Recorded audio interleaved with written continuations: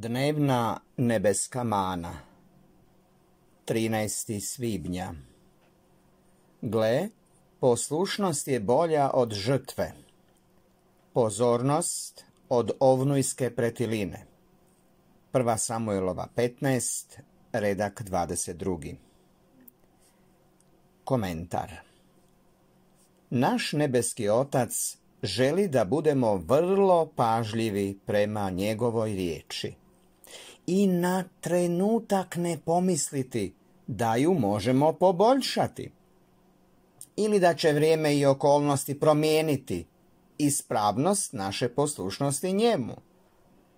Neka bismo slušali riječ gospodnju i držali je se čvrsto, ne bojeći se posljedica, imajući na umu da je onaj koji ne drijema i čuva nas od spoticanja previše mudar da bi pogriješio.